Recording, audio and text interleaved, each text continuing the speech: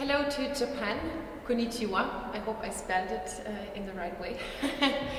um, my name is Hanna Elisabeth Müller. I will be part of the Bavarian State Opera tournée to Japan.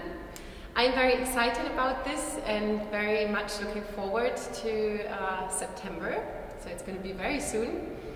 Uh, I'm in the cast of The Magic Flute. Uh, I will be singing Pamina, um, which is the daughter of the Queen of the Night, so yeah, I'm very glad to be the princess in the show. yeah, I'm uh, looking forward to make a new experience, uh, to travel to a new country. I have never been in Japan before, so uh, I'm very excited about that. And uh, yeah, I'm very, I'm very much looking forward to meet you and uh, to see you, to have a new audience.